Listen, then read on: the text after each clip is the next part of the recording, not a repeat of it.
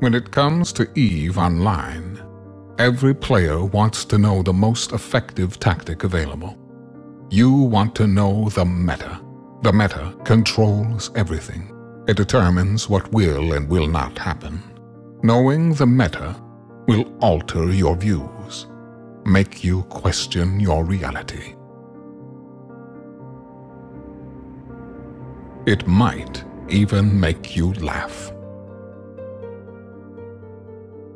And now, you're part of it. You're watching The Meta Show.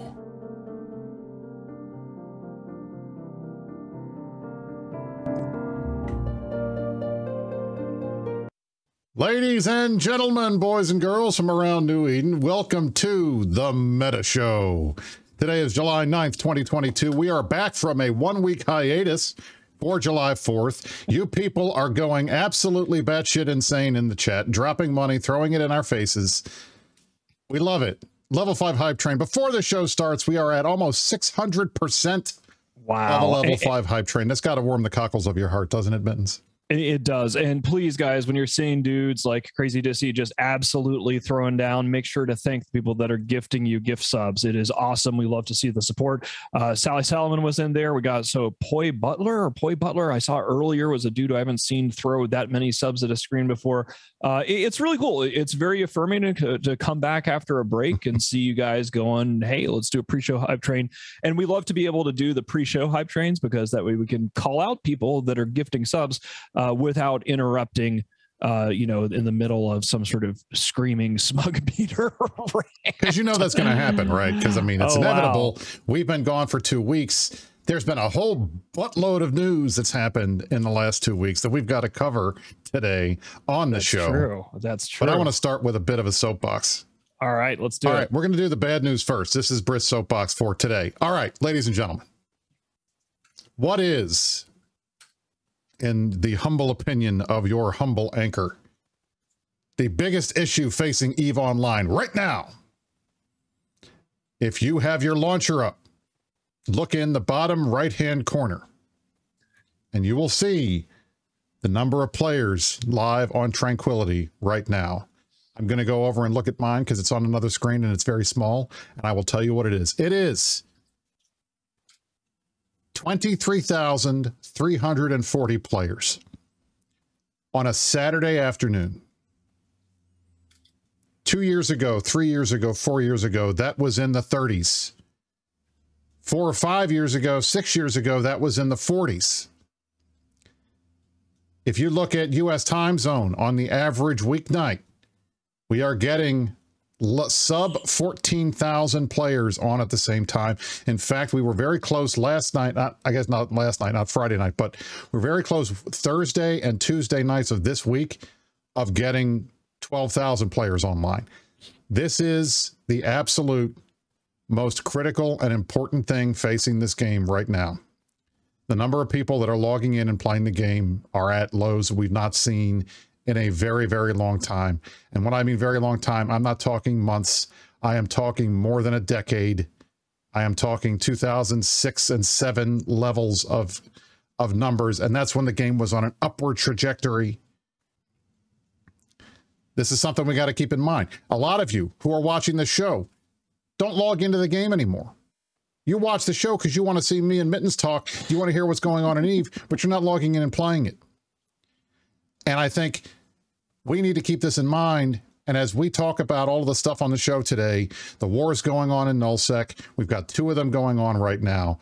We've got a new CCP update that just came out last week that was pretty well received by all, you know, uh, for all intents and purposes. So we need to, I think, highlight, and we're going to continue and make this a, a point on the show for the foreseeable future to talk about the PCU to talk about the active user numbers and make it clear that we are very concerned that these numbers are low. And yes, it's summer. And yes, people are going outside. And yes, we are touching grass. We did it last Saturday. Mm-hmm. We took mm-hmm. a week off to touch grass. But the reality is, EVE Online as a game survives and thrives only when people are playing it. This is a game where the, every player that is online in space is content for another player, potentially.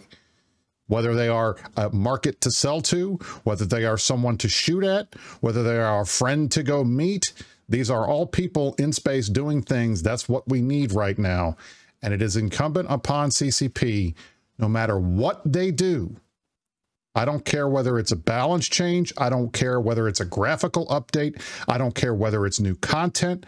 I don't care whether it's fixing technical debt from 10 years ago every time they spend a penny of resources on anything in EVE Online development, and they should spend more than they are, they need to ask themselves, will this get more players in space? And if they say no, then they really have to sincerely question whether or not that's something that needs to be done right now.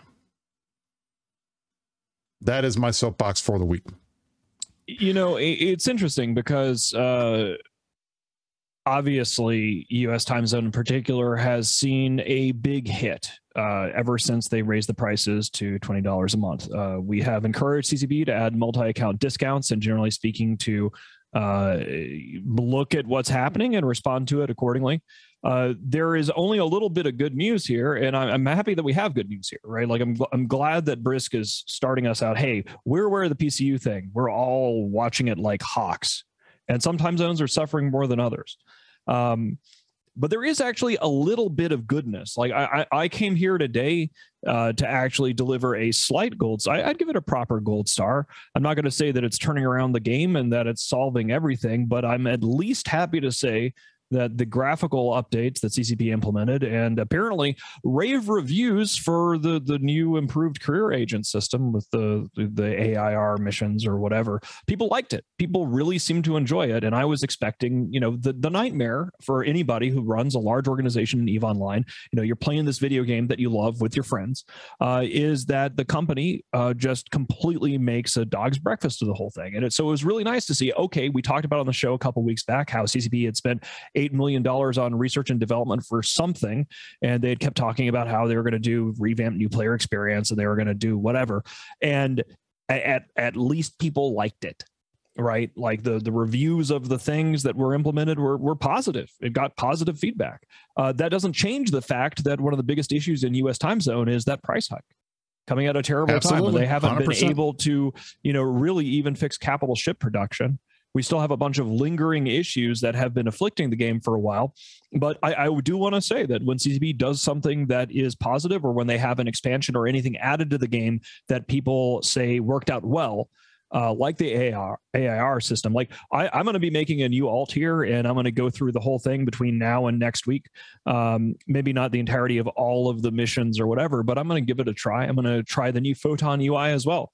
Uh, in Goonswarm, we have just created like an alt alliance for our alt corps and uh, as part of that, you know, hey, I'm going to make a make a new space guy and put him in there, and it seems like a good opportunity to just start from the beginning, and be like, okay, well, let's see what's up with the upgraded Photon UI. Let's see what's up with all of these things, um, and so I am looking forward to that uh, in the midst of all of the interesting space war stuff. But you know, they they got to do something about either multi account discounts or just getting better with delivering the things that the player base have been asking for forever in the game.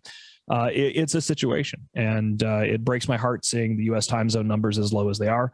Uh, but hey, that's uh, the the decisions that CCP made, and here we are. So uh, what else do we have besides besides downer CCP stuff? Like there, well, there, that's I mean that's the down things. the downer stuff we're done with now because yeah, we've got okay, two major we we've got two wars Ooh. going on one of them is kind of boring. The other one is pretty freaking exciting. and we want to share it with you guys because it, it's shaping up to be a, little, a real humdinger up, up north. So we're going to go into our top story, which is David versus Goliath. This is the fraternity versus Volta slash Brave war in the north.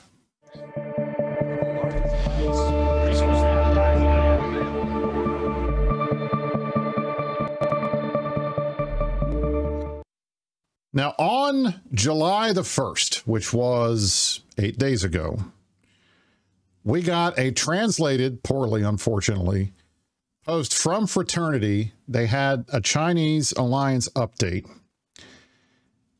in which they essentially said, and now they never said this outright, so this is the, the headline writer on Reddit taking some liberties, but what they said was the entire North should be united under the banner of fraternity which it already pretty much is. But this was something that was even brought to even even more brought into stark realization when fraternity under the leadership of Noraus chose to de- uh, declare war on We Form Blob slash Volta, essentially the Greater Trash Coalition, GTC. Winterco has controlled most of the North. These guys have been their neighbors for a while. And they decided we can't handle the fact that Volta smacks us around every once in a while. They broke a informal non-invasion pact that apparently was signed but wasn't signed, but we don't know if it's real or what happened with it. And that was enough for them to want to go and smack Volta around. And they gave Brave an ultimatum. Stay out of the way or you're next. Brave essentially channeling their inner Ukrainian said, fuck you, we're not going anywhere, and chose to fight back. So, according to FRT, and I talked to my dear CSM colleague Luke this morning, who gave me a statement from FRT essentially saying that this war, according to Fraternity, is the culmination of a historic rivalry between the Greater Trash Coalition and Winterco. Apparently, a small number of groups in We Form Blob has ramped up their harassment of FRT space, and they are responding by going to war. Brave has decided to get in the middle of it. Their current stated objective is to put the screws to Volta and glass what they need to do in that process. They do not intend, according to Luke, to hold any sovereignty. Now, if you go through and you read the, the statements that were made by FRT, they seem a little hyperbolic, in my opinion. One of the things they said, which I was uh, rather surprised to see, was that in it apparently immediately moved 65 dreadnoughts and supplied and several supply manufactured freighters to 6RCQ on the border of Fade and Pure and uh, or Pure, I think Pure Blind and uh, and and whatever space is up there that I can't remember off the top of my head. This is news to me because we never did that. In fact, all we did was move some ships from asset safety back to Fountain. And if you want to know how we can prove it, well, here's the battle report for when Snuffed Out dropped and killed five of our freighters on a gate. Oops. It's a lot of lost isogen. It is what it is. Yeah, and if you're looking at what's in here, isogen. Not fitted ships, not battle material, no dreadnought mm-hmm. parts, nothing. Mm-hmm. So when it comes to FRT's war declaration, they want to go and smack Volta around. That's fine. But let's take a little look here at the map because I'm kind of wondering what the point of this is. Fraternity controls Tenal, Branch, Venal, Tribute, Vale of the Silent, and everything up to the border of Geminate with Horde, who are their besties. Because Pappy's going to Pappy. Mm-hmm. On the other side, you've got Blob, which controls Deklein, Brave that controls Pure Blind. You've got unaffiliated guys that run Clown Ring, and Banderlogs and Scumlords in there too what is the what is the threat to, to to FRT here? I don't I don't get it. Mittens, can you fill me in because some of this stuff doesn't make a lot of sense to me. Why is Fraternity, the second largest alliance in the game, worried about Volta, which by my count is something like not even close to uh yeah, they're 45th. They have 619 active members as opposed to Fraternity with 31,000 or 24,000. Renting could it be yes, renting? I forgot it's renting. Could it they be love to renting? Rent. Renting. It, renting. it is almost as if. Could it be renting? For weeks now, we have said, look, the Pappies are all space slumlord wannabes.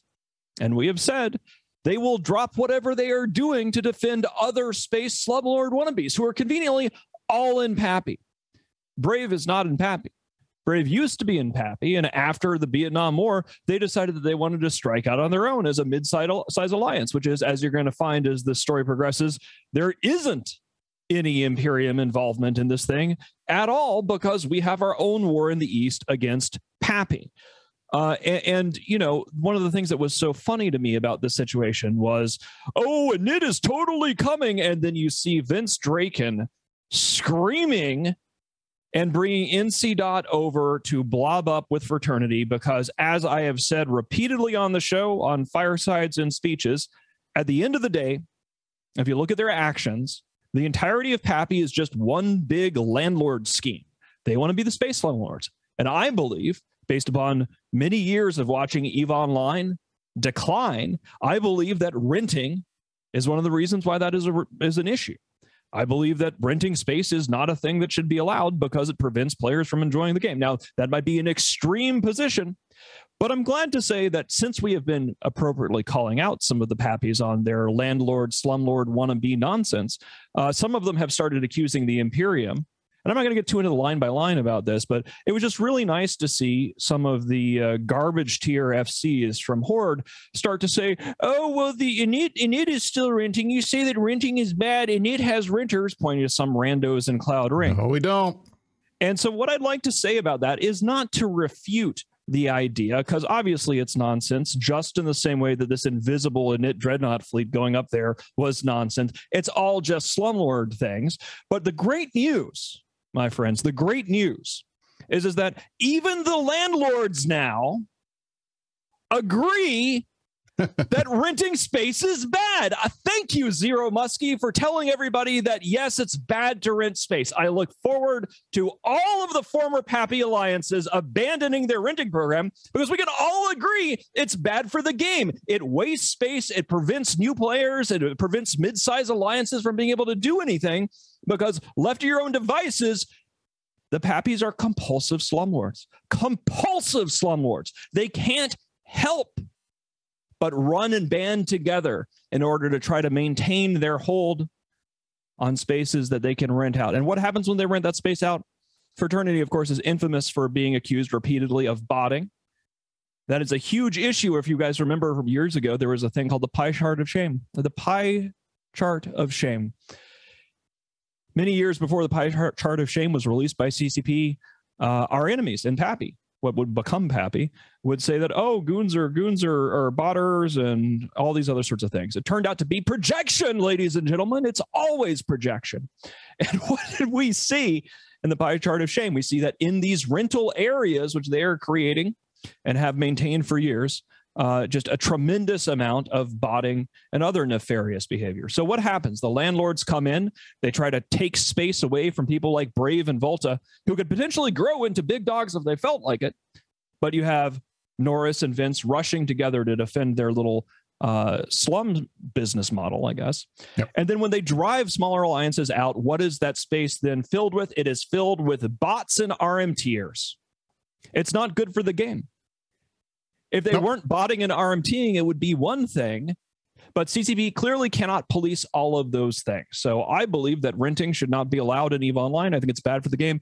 And I'm glad that Zero Muskie has admitted that renting is bad and publicly called it out. I agree. Renting space is bad. It should not be a part of EVE Online. Uh, but God knows the Pappies and all their Quislings are busy working together as hard as they can to maintain their little slumboard empire against Brave Volta or anybody else that doesn't want to be a part of Block. We did not help them because they didn't ask us for help, and we are a block. We're doing our old, own thing. We want independent alliances up there. So we wish them the very best. And we're going to spend the rest of the show kind of going through some of the things that have happened there. It's fascinating. But don't listen to the Pappies when they say it's this wall of text of a whole bunch of reasons that Norris has. It's just about clearing land to rent it out and controlling it. What happened next? So I would just like to say for the record, so that oh Karen, I mean oh Muskie understands what Init was doing. The guys in Cloud Ring, if you go visit Cloud Ring, my I, I which I, I call it Clown Ring because it's very funny to me. We hate it up there. It's a pain. I get smart bombed all the time. The Seventh Sanctum guys, among other groups that live there, are very good at what they do. And the entire reason they are there is because Init invited them to move into this space we didn't want and take it over for themselves. Why? Because it's content. They keep our pilots on our toes. We go out and mess with them. I go say hi to the guys. I think they're all pretty good dudes. We like having them on our border. We don't need to control everything, and we certainly aren't. They certainly aren't paying us any money. If we felt like going and taking Clown Ring, we could take it. Nobody wants Clown Ring except them. They're free to have it. But anyway, so what happens? Brave is a, Brave is basically told you will bend the knee, you will stay the hell out of this, or we're coming for you. Brave gives them the finger, says no, we're not doing that, and we're going to keep fighting. So what immediately happens this week? Two nights in a row, especially last night, we saw Fraternity try to take a headshot at Brave Staging System and FTAC-N. And you want to know what happens next? yes. What happens next?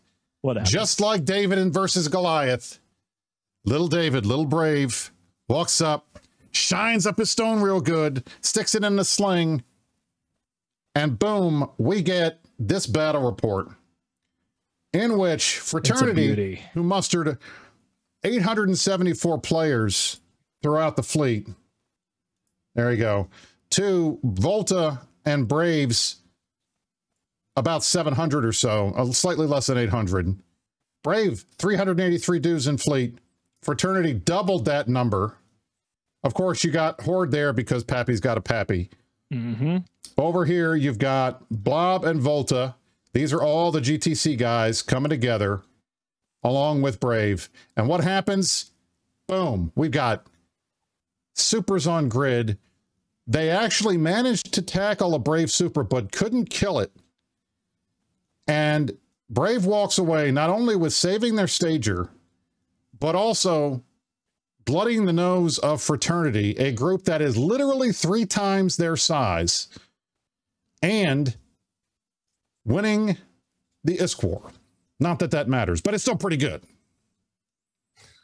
Now, we have a statement from our dear friend Dunk Dinkle, I asked him today for a statement on victory in FTAC-N. And what Dunk Ooh. said, exclusive to the Meta Show, is last night was a classic Eve battle in FTAC-N that lived up to the hype. Faced with an ultimatum to walk away, Brave chose to fight. Both sides committed hard with full sends with a wide range of tactics used, including supers on the combat grids. I'm happy that Brave was able to successfully defend our iHub, but this is just the first major battle in the war. Kudos to all the pilots on both sides that alarm clock to participate and blow up some spaceships and create some glorious salvage. P.S. Brave is recruiting. This is a standard Dunk Dinkle kind of statement. It is magnanimous. It is nice. It talks about salvage. That's what I would I would expect from Dunk. this is what we get. This is what we expect from Dunk. yes. But the one thing that I like that Dunk did here that I want to highlight because it doesn't happen enough. He acknowledges, despite the fact that this was a major win for Brave, this is the first major battle in this war. You have to expect that after being smacked around like this. Noraus is not going to take this sitting down. He's not going to take 140, almost 140 billion ISK loss, where his side lost multiple dreads, despite having significant advantages in numbers. He's not going to take it lightly. He's going to go back, and I expect that we're going to see more attempts to attack Brave it's going to be you know it's probably going to be i don't know the best way to describe it is like by you know just traditional sov war uh playing it by the numbers. Like this is i, I want to zoom back out here and do some analysis on on what we saw here. So big picture chessboard stuff. Uh this is what we would call a a headshot attempt right? When you're going after an enemy stager at the start of a war And I've always been pretty skeptical of headshots, right? I'm, I'm this is a thing I say in public, and if you look at our grand strategy, typically that's the case. Uh, you know, yes, the Imperium will uh, periodically go after hostile, like staging Fortizars, but in this case, uh, we're talking about an enemy iHub, the Braves iHub, in their staging system with a very high ADM and an off TZ. Now, what's happened here, of course, is that Braves, uh, I believe their SOV and their Citadel times have now shifted into EU. Uh, it takes a lot longer to get your Citadel uh, timers over there. It's a 30 day ticker as opposed to about seven days for moving your SOV time.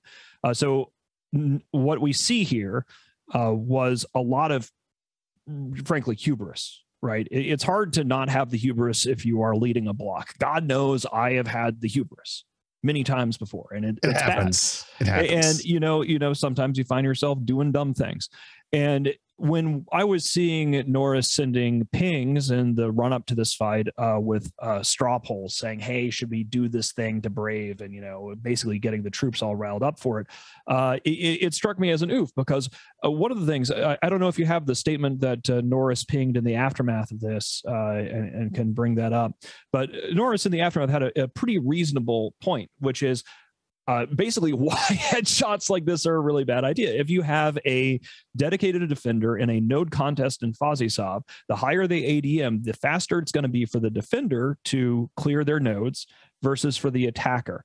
And one of the things that Brave did, and Brave did very well, was a relentless spamming of Griffins to ECM hackers, right? And if you're just unable to hold that grid control, uh, eventually you're going to get bogged down. And that's exactly what happened. The way that these FozzieSov contests tend to work in practice is you need to turn up firstest with the mostest, and you need to have everything locked down because it is designed in such a way that the defender can make it incredibly miserable for the attacker right? We did that in the Vietnam War, and now that we are on offense in this other campaign we're going to be talking about here in a bit, you know, you'll you'll notice it. If you have a FozzieSov op that people didn't dot the i's and cross the t's and take seriously, the defender can do all sorts of things to fuck with a lazy, full of themselves attacker. So you know, this is just sort of um, a, a, classic situation where a, a, block gets too much hubris and goes, "We're just going to make a vulgar display of power and and pave you over." Right? It would be like after giving my State of the Union when we launched our campaign uh, three weeks ago, we ran directly to like the JTAC Z Keepstar in Insmother, right? Which would be an interesting target, but that would be a full blown headshot on a Keepstar attempt or their staging hub there, and, and there would be bad news for exactly these reasons. The other thing is, is this: when you try a headshot, you are immediately energizing the defenders on a big set piece battle, right? Big it's time. their home. All of their shit is in there. They're going to drop what they are doing. And then what you do is, in many cases like this, if you flub a headshot, braver heroes now right? I, I, I, you know, in the aftermath of the Vietnam War, I never thought I'd say that, but the, you know, people are now looking at Brave again and going, okay, well, there's doesn't look like there's council nonsense anymore. It was like a, a council shit show, but it looks like Dunk is in charge and actually like in charge. And look what they did look what they did. They worked together with their allies and they beat off a block without calling in any bat phones to another block to help them. And that is a real statement of organizational progress. His troops are going to be energized. They're going to be having fun with it. They know they know that they can beat a block now if they work hard. Doesn't mean they're always going to do it, but they have that taste of blood. It's the whole Iron Man 2 thing. You make a god bleed. Um, so yeah, I mean, it, it's just it's great for Brave. It, it's it's not so great for fraternity. Uh, it's I don't think it's going to be a situation where fraternity is going to turn around and uh, be screwed right? I think that Norris's statement here, which uh, Brisc has put up here, uh, is pretty solid, right? He's saying these are the facts. This is what we lost, and I also would contrast uh, what Norris is saying in the aftermath of this battle, which he lost, which is a pretty objective, like this is what happened. You know, this is how we lost it. These are the choices we made. Uh, with that first bit, where it's just this wall of text saying why they're they're doing the thing.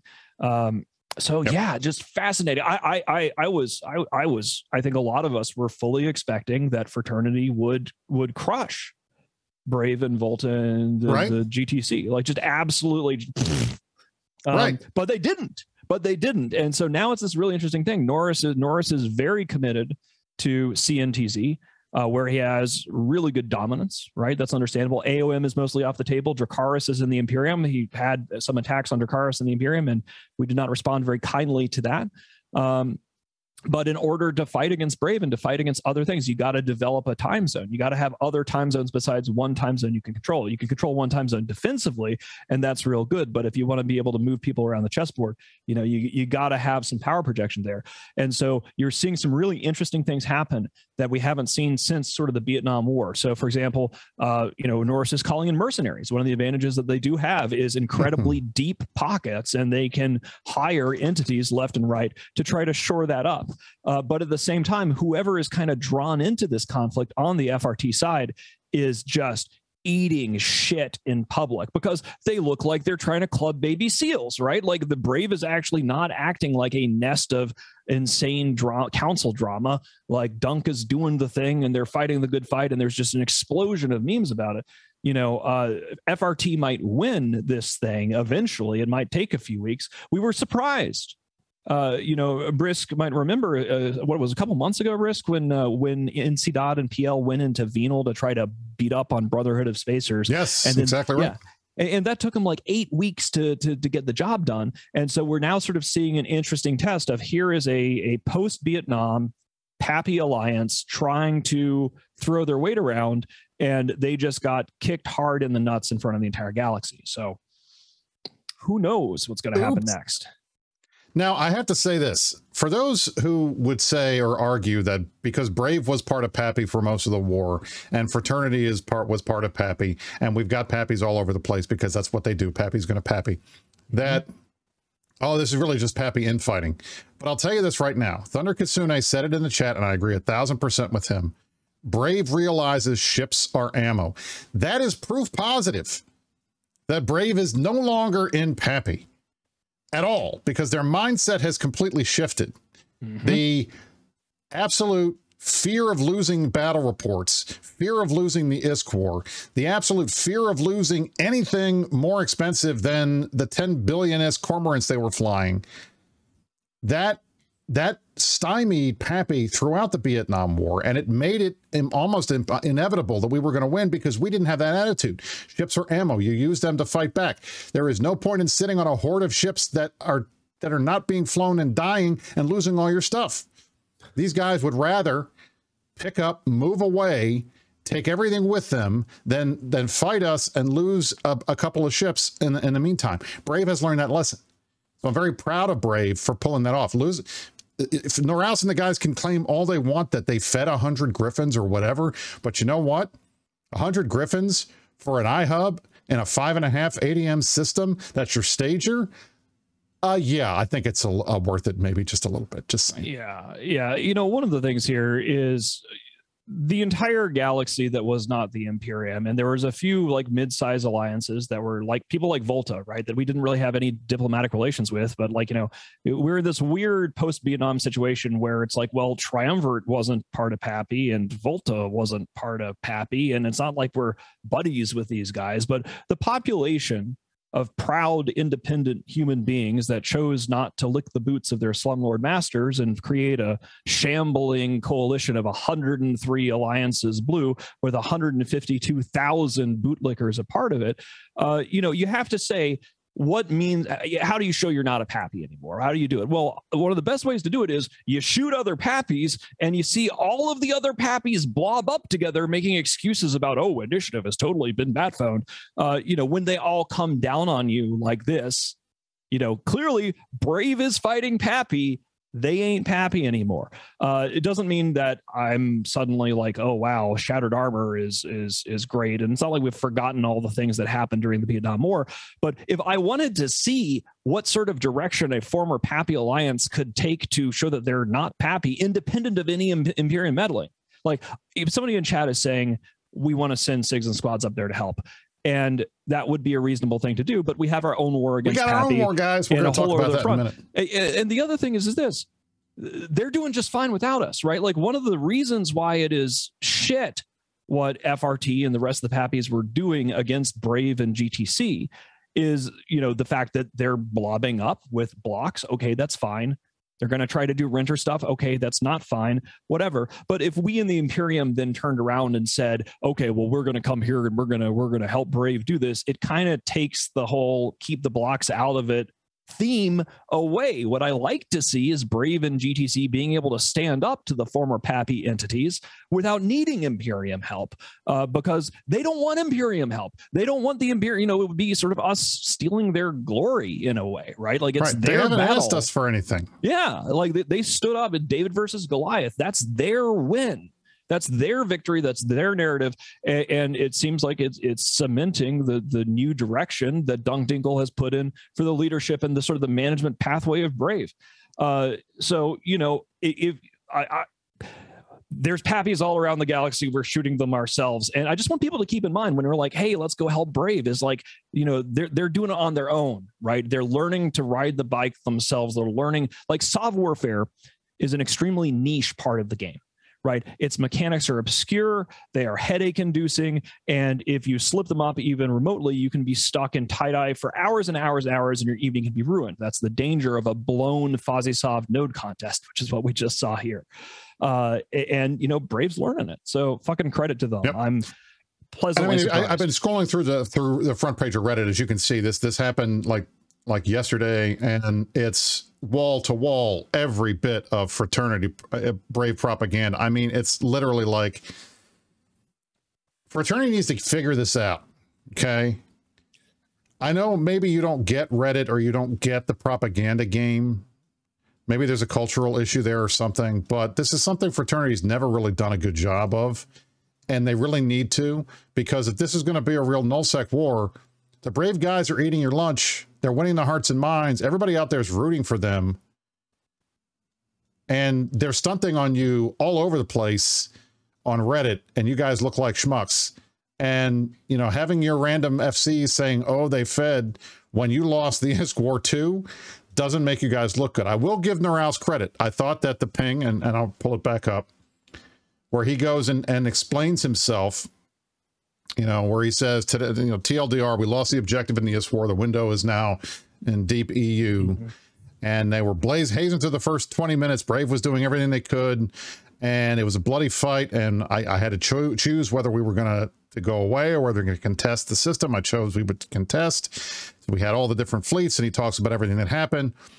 And he says, Yep, that's what happened. That's it. Okay. That's fair, and I mean that, that's yeah. that's what yeah. you got. You want to get that from your leaders because the sign of a good leader is somebody that it's not that they don't they don't ever you know spin or that they don't ever go out and do propaganda, right? Because God knows we do enough of that on the show.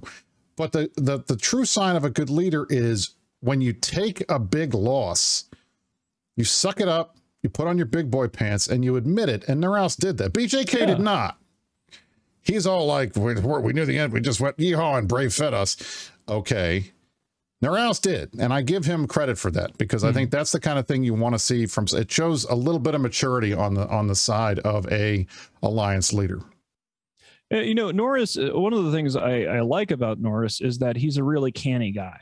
Like he is, uh, he plays the game uh, in all of its different methods. And, you know, people criticize them for having characters that have been banned in the past, and those are legitimate criticisms, right? Who hasn't, right? Right. Yeah. Just but saying. like, what one of one of the things here uh, is, you know, he's an operator he, he's an operator. Like he he thinks in a way that you really don't see from more like you know when when NC dot comes at you it's like getting charged by a, a, wild boar. Now that wild boar might be a little sickly in the year of our lord 2022 uh, but you know when vince is coming at you he's just gonna come at you. Uh, and, and you know i'm I'm a metagamer, I'm a schemer, all these other sort of things. So these these are a lot of things that I respect about Norris, uh, and so it's going to be interesting to see how he sort of digs himself uh, out, out of this one because they are getting shellacked in the public eye. And right now it's a real sort of good guy, bad guy dichotomy. Uh, but I, I, wouldn't expect FRT to do something uh, like just really dumb, but you know who knows? Maybe maybe they will. They actually they just did something really dumb. They publicly told everybody they were going to headshot a staging iHub and ping straw polls, and then they got kicked in the dick repeatedly in front of the entire galaxy. So we'll just have to walk that back a little bit and see how yeah. things progress. But it's going to be real interesting because in general, uh, you know, Norris is. Uh, not going to be unanchoring Keepstars in the middle of an op that you've hyped in the middle of a gigantic critical battle. It's not going to be like a, a self-owned situation you would expect to see right. from test. But, the only uh, downside to the whole this whole war is that Noraus doesn't get on and do any English uh, uh, uh, alliance statements. So I, the chances of us getting a good Mind One remix of something he says that's funny is relatively low. It makes me sad, but we'll go from there. So. All right, so that right now, that is the state of the Northern War. Volta and Brave are holding their own versus Fraternity. Again, Fraternity has the numbers advantage by a significant margin. They've got a ton of money. They have their renters. They have money coming in. The smaller groups have plenty of means to to harass and attack them. In fact, I mean that's what caused this war, according to Fraternity in the first place, was Volta's constant harassment of their territory, especially their renters. So I think we're going to see more of that in the future. If if they come back and try to headshot again, we'll see. I mean, if at first you don't succeed, try, try again.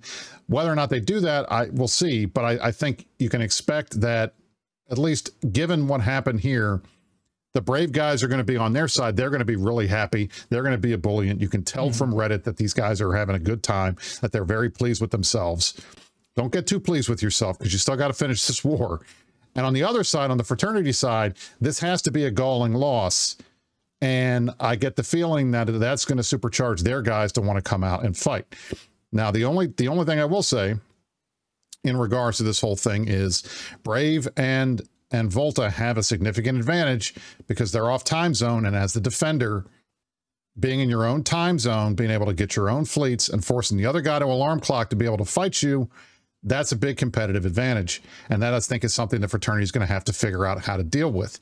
Now, what we've seen, and this leads into some of the conversation we're going to have about our war, is they're hiring as many mercenaries. And Mitten said this earlier, and I, I will reiterate it. They're hiring as many mercenaries as they can find that are in EU time zone so that they can contest Brave and Volta. And that makes good sense for fraternity, but mercenaries aren't always as motivated as your own guys are. And there's only uh, so much amount of alarm clocking that you can really get and, and be willing to do.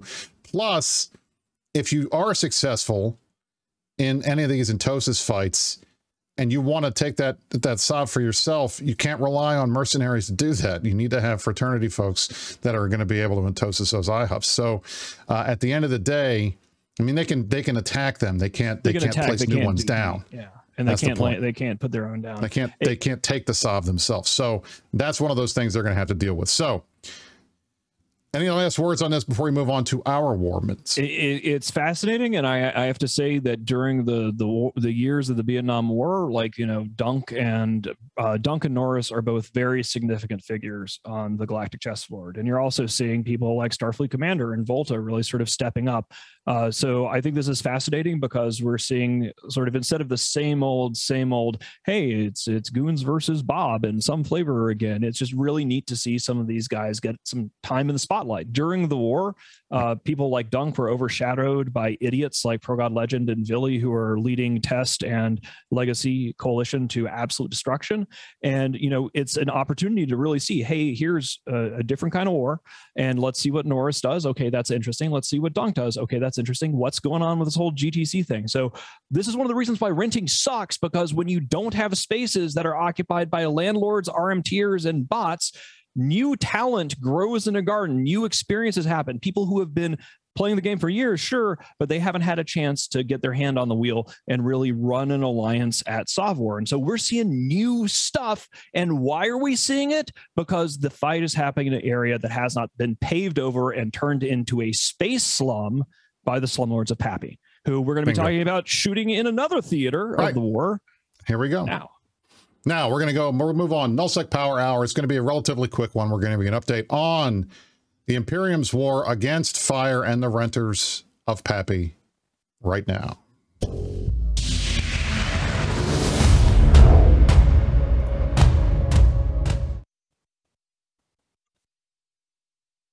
So if you want to know how the war is going, here it is. What are we doing? Well, as you can oh, see, oh, we have a ton of iHubs in Feythabolis, Tenerifis, all of these areas that are getting hit very hard by our guys, and we're going to keep doing that for as long as we can. Most of these timers, as you can see, Faith, these are all X-Death, Horde, Horde, Horde, horde. There's one because, like we said, like we said on the show weeks ago, go. what did these people do? The first thing that they did after we swept through these regions and cleared them out, just like we did in Tribute in 2019, and then we left, and other alliances could grow there and do things. Oh no, no, no, no! The Pappies, Legion of Death, and Horde are right there slamming down hubs in order to turn it into a slum for botters and RMTers because they are compulsive slumlords. So we are clearing that shit out. Uh, one of the things Again. I want to say I, I got to give a shout out to the initiative, our allies, our lovely, wonderful allies who are like the Space Marines to Goonswarm's Imperial Guard. Uh, right now, there's a lot of goons in Berlin that are just sideways drunk high who knows what they're doing. It is the weekend of goon berlin. And uh, i have a little bit of fomo honestly because i really wanted to go to that and i couldn't. Uh, and the last two days the initiative has been on an absolute rampage a rampage. Fat. racking up timers like you would not believe. And i, I had to, to, reach out to dark shines earlier. I was like look dude like uh, guys in general like our our eutz leadership layer is going to be a little thin this weekend because because they're they're all in Berlin getting trashed.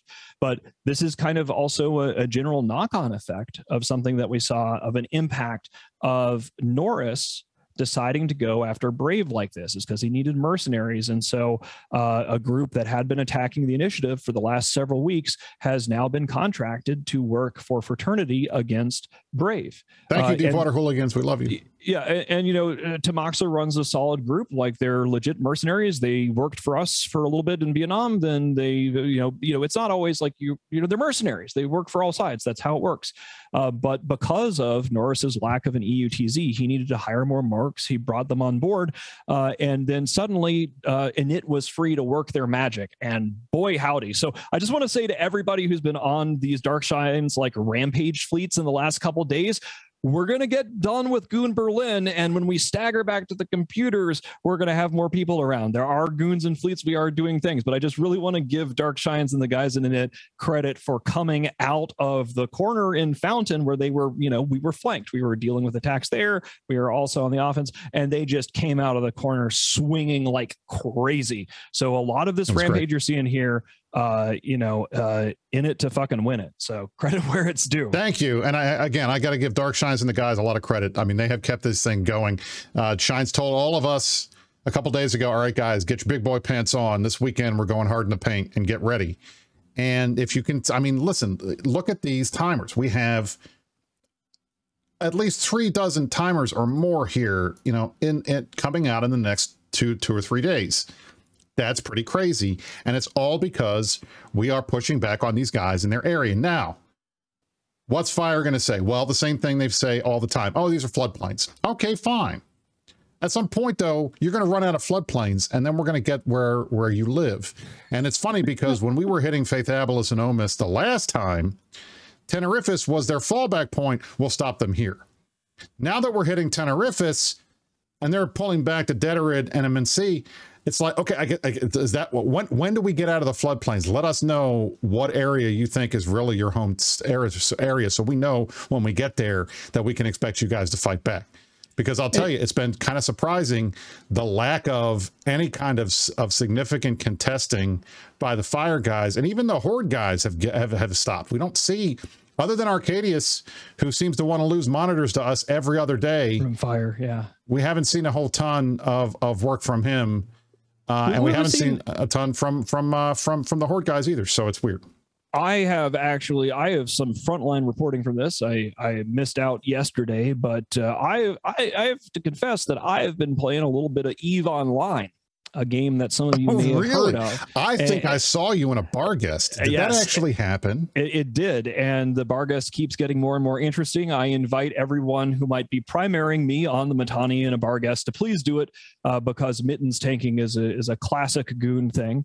Uh, because puppies love to shoot me for some reason. I don't know why. I'm such a likable guy, uh, but anyway, uh, it's been really interesting. So it, it's not such a scenario where there are no fights because if there weren't fights, the war would be uninteresting. So what's been happening is U.S. time zone. This is a real area of U.S. time zone action in Eve Online, and the U.S. time zone is a, an area of struggle uh, in most of the other areas of Eve. There's definitely Euro ops. There's a lot of things happening in yep. AUTZ and CN, of course, uh, but I, we talked at the start of the show about the challenges USTZ has been having with activity. And so I want to herf and hype up the fact that on any given night in the USTZ, when we are forming up and you're seeing me sending screaming pings, uh, we've been having activity from Fire, usually in the form of uh, Arcadia Soul, who is a Severance FC that you might remember from Severance. the Vietnam War. Uh, you see uh, some of the Horde guys keep firing off pink pins. And these are one of the things during the Vietnam War is we didn't really get a chance to shit on that, those guys so much because all the oxygen was stolen by the Villies and the Pro God Legends and the Elf Boys. Uh, but you got to see these guys are now forming up and constantly intervening because, like we keep saying, Pappy's going to Pappy. So just as NC Dot rushed to FRT's rescue against Brave when they didn't need it uh, to support the Pappy landlord system, you're seeing Horde regularly forming up with fire in several locations, as well as shocking PL and NC dot. So it's the same band of chuckle fucks, but this is what makes US time zone interesting is that in many cases they're forming up in different locations and they're coming at us. And we've had whelps. Like we whelped oh, yeah. a surf I mean, fleet. That's what we do. In like eh, eh, you know when we don't whelp it's weird right? When we don't whelp it's a situation where i get worried because it's not a real combat because goons will be goons and if we are not crashing fleets into trees periodically that means that we're not teaching our fleet commanders how not to fleet cra- uh, uh how not to crash fleets into trees. Because as i say repeatedly you always learn more from a failure than you do from a victory. So loss is a part of learning. So on any given us time zone it's not a clear glassing. One of the reasons this is a slow progress a slow and steady progress is on any given night ustz uh, there's usually about four different entities forming fleets and coming and trying to either catch our guys unaware uh, or just mulch us. And it's been good. Uh, you're seeing some play and counterplay. We're getting to use the tech fleets. The bad guys tend to use EOSs, which were designed to mulch our uh, to mulch our eagles, and then you get to you know it, it, it, and also we're not using Munins. So it's great. You can come and fight and have a war. And at least if you're in the Imperium, we're not forming Munins out of GE8. So there's a whole bunch of different, more interesting things. Our enemies are still, of course, using Munins in some capacity, but uh, them's the break. and I have to say, uh, uh, you know, we're talking about all this stuff. There's stuff happening right now, this minute in EVE Online. I want to laugh. So far today, Init has killed three iHubs. We have refed a total of eight that we're going to kill uh, at some point today. Jesus. And in response, Constantine, our dear friend Constantine the Severe, the sincere, yeah. decided that he was going to bitch to PanFam about why they aren't helping as much. So, in response, our dear friend Headliner, who is a Mets fan, by the way, formed a massive, massive PL fleet of 25 Kikimoras and went down to Aridia to hit things because that apparently is somewhere anywhere near the front line. But wow, they're currently uh, they're currently camped into a station and they can't go anywhere. Yeah, so, I, oops. I, I, I just want to again. I started with the shout outs here on the segment, and I just want to reinforce is you know goons. A lot of us are in Berlin or talking to people who are in Berlin or otherwise. You know, in Freedom Land, there's still some like you know leftover holiday action happening, uh, and, and Init has just come out swinging. So if you are a, a, drunken goon and you come back to the keys in the next couple of days and mm-hmm. you see a huge pile of timers thank your allies because my God, they are doing the work uh, while we get drunk and socialize in Berlin, so I guess. But have hey, fun staring at the inside of an Aridia station while you get camped in by our Alpha Alt Ghost Fleet in Aridia. Good job, we, PL. We, you know, the, the, other thing is, is that I got a little bit, a uh, little bit more uh, screaming to do about this, and, and then we'll wrap things up here soon. But at the start of our deployment, I gave a State of the Union. Every single alliance leader in this game who is at the level where they have to care about what the you know Goonswarm speech is going to be knows that a State of the Union is a declaration of full scale war. Because you know that's if you're going to get thousands of people together you should do something military useful militarily useful with them rather than say playing rickroll which is something that Vuk Lau did to all of his people in the old school northern coalition. And i thought that was very disrespectful of people's time. So when i call a speech everybody knows it's either we've got a Titan fight the next day, like in M2, uh, or, or, or actually a few hours, like in M2, uh, or uh, it's going to be a war. And the excuse that I have seen used again and again and again from the Pappy slumlords as they flee before us in a cloud of excuses and oh, the other guy was going to do that or, or whatever, uh, is that it's not fair that we brought our super caps.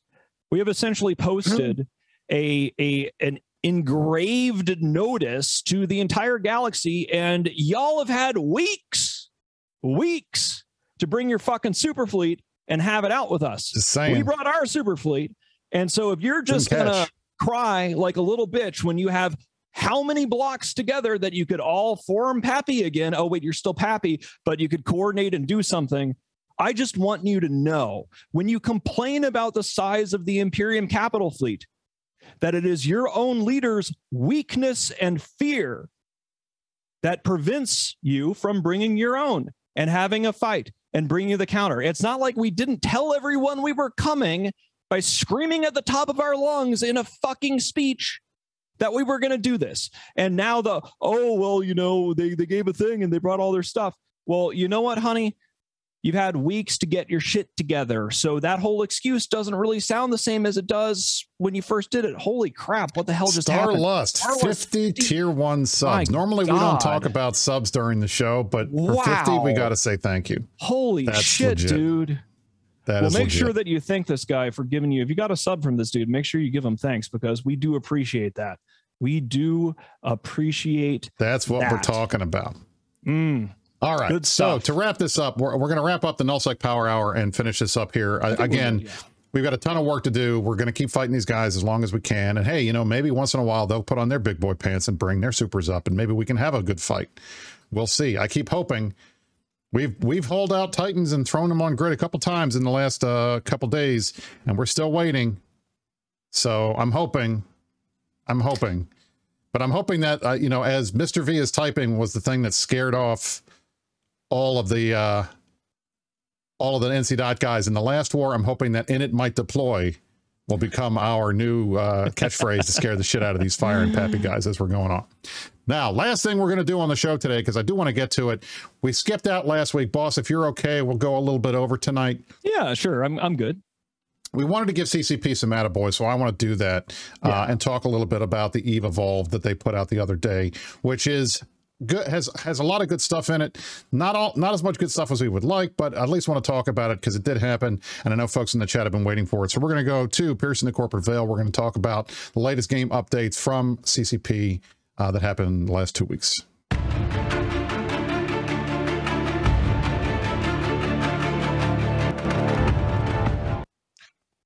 So the biggest thing that happened in this section, uh, which they are calling Eve Evolved, building the future of Eve, is they finally added DirectX 12 support for the game. Now, their claim is that this is going to provide greater immersive detail, and it's going to make it easier for them to update things in the future. You're going to get a much better uh, uh, visual experience.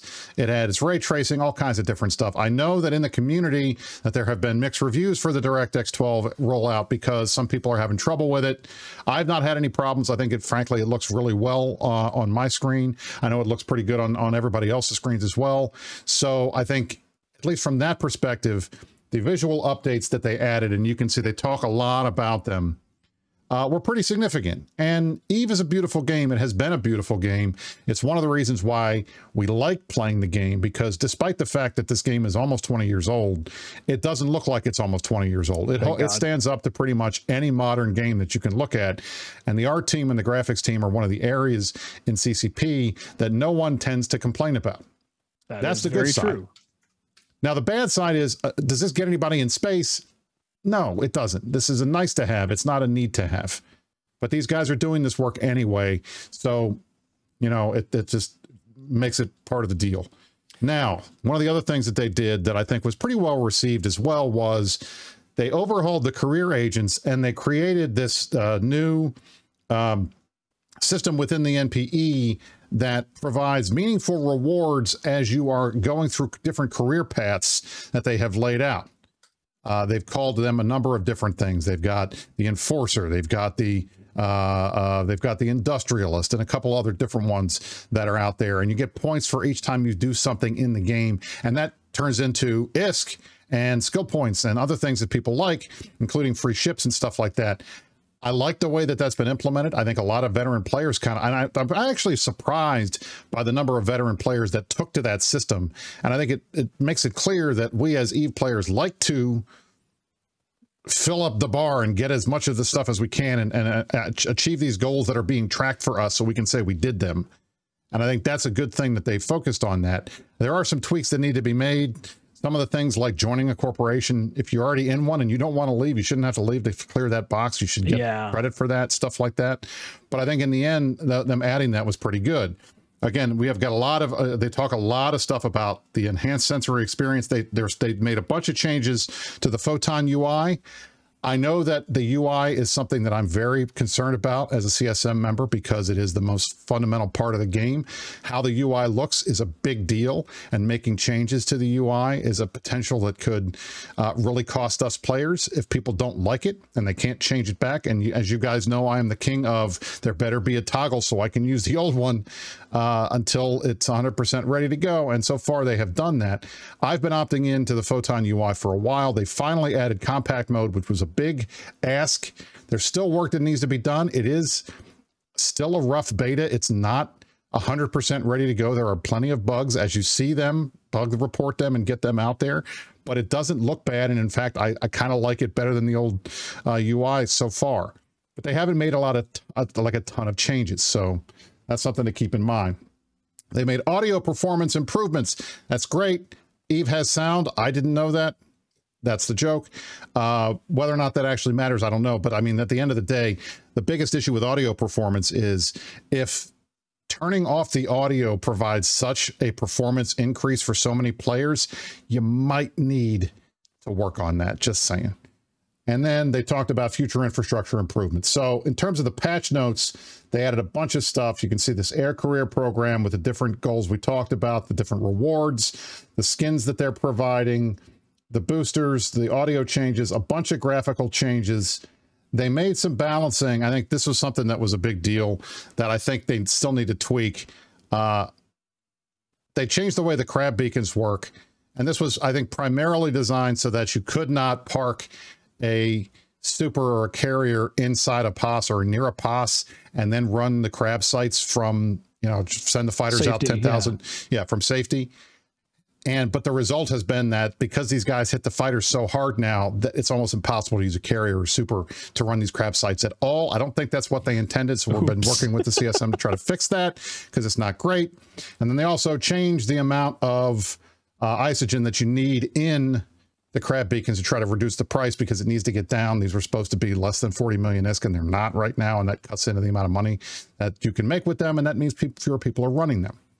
And then of course, this, this was a huge one. And I hate to say this because this is really stupid, but this is, this is the kind of thing that I think uh, is one of my biggest criticisms sometimes of, of, of CCP. The Women's Sisters of Eve Advanced Combat Suit is now correctly in the women's section of the market. This is a bug that has been in the game for like seven years since the suit came out. And every every couple months, somebody will say, "Oh, by the way, you know, the women's SOE suit is in the male section on in, in the market." And all it, it just takes one little change. Somebody paying attention and seeing this and just making this one little change. It took them years to finally fix this. Thank you for fixing it, but damn, did it need to take that long? And again, as as they've they've again, we went through the rest of the stuff. They've they've added a bunch of little changes, uh, and then we saw the start of um, Minmatar Liberation Day, and then they're also doing a summer of streams where they're going to be putting a bunch of streams out this week. Coming, they're doing a team security discussion. So if you want to bitch about bots, you want to complain about botters, you want to complain about all the stuff in the game that team security deals with bans and the RMT and the like, let's pay attention to that one because that's the one you're going to want to watch. They've got EVE events, they've got a security Q&A on Discord, and then they got player data dev blog and, and CCP stuff coming up in the next month. Then in August, we've got faction warfare discussion, That'll be important to pay attention for the future of heraldry. Another thing that was announced at FanFest. We can see where that's going to be and when they're going to get that out, and some, some other discussions, including a retrospective on the Siege Green update, which has been, I think, one of the better updates, although it has been slightly controversial. So we saw this coming out from CCP this week. Mittens, what did you think about these changes? I, I, think that one of the challenges that uh, longtime players of the game have is like oftentimes when I like get in a Barghest, right? Just start, hey, it's time to play some Eve in client and we're going to do the thing.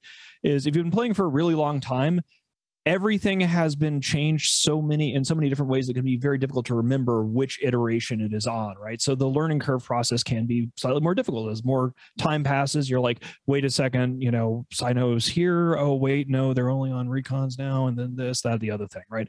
So one of the things that i find exciting about this is that it's a real opportunity to be like okay i want just the eve 2022 experience and I, I was worried. I, you know, I, I genuinely, when I, we analyzed their finances and there was these $8 million that were spent on R&D and salaries and stuff. And CCP kept promising, oh, it's the new player experience, new player experience, blah, blah, blah, blah, blah. And then when they announced some of the Eve Evolve stuff at FanFest and afterwards, it was kind of like, eh, because there had been no real trust there because there had been, you know, Correct. water and wyverns and all this stuff. And so I was really pleasantly surprised because honestly, kind of like kind of like I sort of expected FRT to to roll brave uh, for a while now. I've I've I'm used to being disappointed right when it comes to CCP things. And and you know it, it, it's gotten good reviews. Lots of people including myself who have no official reason to be able to to, to need to go play the AR system are going like hey actually let's go mess around with this. And, and I think it's going to be a really useful introduction for both the the new UI and a refresher on all the the, the modern things. Uh, so I mean it's great.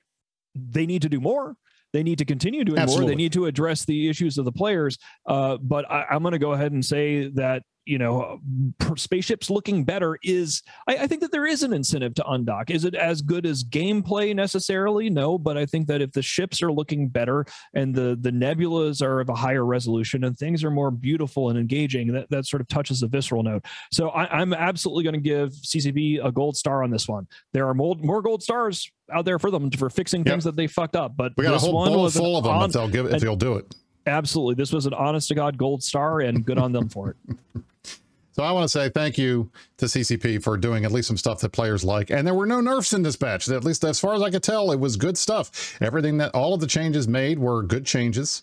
Uh, I didn't see anything in there that was crazy bad. I know, obviously, there are always bugs. There were a bunch of problems that that came out uh, for the first couple of days. you couldn't see the tether in space anymore. That was a big deal. They fixed that, uh, and a bunch of other things that are obviously needing to be worked on. And I think DirectX 12 is going to be a boon down the road. I think a lot of players are going to have to get used to it. But the good thing is it's a toggle. You can turn it off if you don't want to use it. If it's eating too many resources, go back to DirectX 11. There's no issue there. Then, of course, you have, and I guess I understand that the, there's a separation between DirectX 12 and the graphical update. You get the graphical update regardless of DirectX 12. But the graphical update, I think, was useful. I like it. Game looks very nice. That to me is a selling point. It'll get new people in the game. It's not going to help veterans undock or anything, but it does get people, new people in the game. They don't want to look at a game that looks old. So looking at a game that looks new, that's a good thing. And the visuals in space, people sit around and they're going to look at those and be like, damn, that looks really good. People are going to like that. So we like that. That's why we are here talking about this stuff. So we have wrapped up. We are pretty much done with the show today. I have two shout outs I want to do. First of all, one to Maya Cowboy, welcome to the chat. Why aren't you in it? You should join in it soon. Mr. Unlucky, thank you for joining us as well. We got a bunch of our, our streamer pals watching today. Uh, Mr. Unlucky is a new member of Goonswarm. He was actually streaming live the FRT fight last night, so it was kind of cool. And oh, he gave me the yeah, update. That's so thank I you for helping his name from because I tuned in to see that a little bit. Yeah, okay, yeah. So if Wonderful. you guys get a minute, check out Mr. Unlucky stream, check out to my Cowboy streams. We, they are friends of the show. We'd like to, to give them a, a little bit of a shout out there. Uh, the DX DirectX 12 is enabled by default. If you want to turn it off, click on the little sprocket next to beta in the side of the, uh, the launcher, and it'll let you turn it off. You can click the box and turn it off. So last up, Monday, July 11th, is my wife's birthday. Well, I want to say happy birthday to Mrs. Brisc because her birthday is on the, on Monday. Mine is on Tuesday, but nobody cares about me. We care about Mrs. Brisc. So happy birthday, honey. We're going to have fun tomorrow night. I'm taking her to the Inn at Little Washington for dinner. We're going to have a good time. And uh, thanks for sticking around with me for all these years. Boss, any last words before we get out of here? You guys got 25% extra meta show today because unlike CCP, we're not going to raise the rates and give you anything more. We give you more every week. Any last words? I think that is it. I think that is it. Thank you all for coming. I appreciate you guys letting us have a break last weekend for uh, all sorts of excitement. And it's good to be back and Herf and Blurfs about spaceships. We will see you next week for more meta show action and war, war, war, in the game getting good patches that improve things. Things are you got it looking up a little. It's it's nice. I like, we like it. to see. I like all it right. Lot. Ladies and gentlemen, this has been the Meta Show for July the 9th, 2022. I am Brisc Rubal, joined alongside the Mittani. Thanks everybody for watching. We'll catch you next week, and you stay classy, New Eden.